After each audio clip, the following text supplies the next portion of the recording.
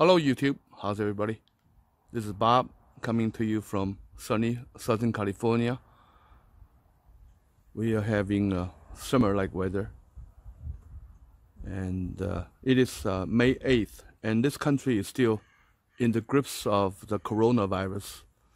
And according to news report, a lot of the hospitals still have a lack of uh, personal protective equipment for the health workers.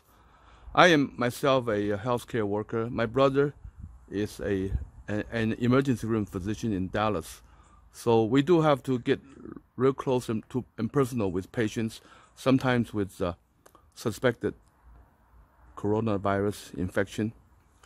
Uh, for my brother, he has to intubate people very commonly, very often, and uh, he has to have uh, good protection for that.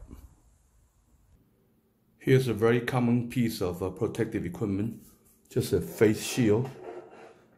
I got this uh, months and a half ago from Harbor Freight Tool before they ran out. You can use this, and now I have a way to make this into a more effective protective equipment. So when you uh, need to intubate somebody, you can put them on and protect yourself. And the material you need just some uh, clear trash bag.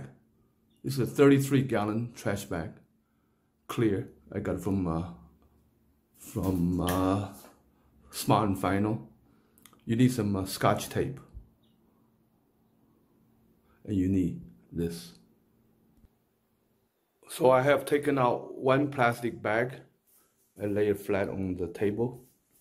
33 gallon.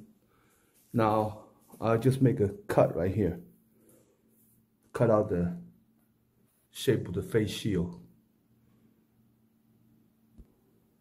So I have cut out a hole the size of the face shield. Now I'm going to put it, put the face shield inside this bag and then uh, tape the hole around it to the face shield with uh, scotch tape. Here it is. All the edges were sealed up with uh, scotch tape. Here it is. It is done. Now to put it on, you just put it over your head and place the bag over your shoulder. Now, of course, there's limited amount of air in there, but for intubation, short procedures, it's plenty. Also, there's um, air that can get through from the bottom.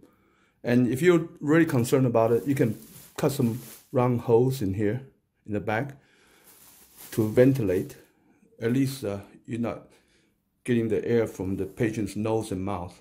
So this will protect your entire head, neck, and shoulder. Now, if you're worried about your torso, you can always wear a plastic uh, rain poncho. You can buy those uh, pretty cheap. So that will cover pretty much your entire body. For short, for short procedures, this will work very well, I believe. It is. It's done. I have clear view. And there's plenty of air in here for at least many minutes for short procedures. So this will cover your shoulder. Still leave your hands free for doing things. Thank you for watching.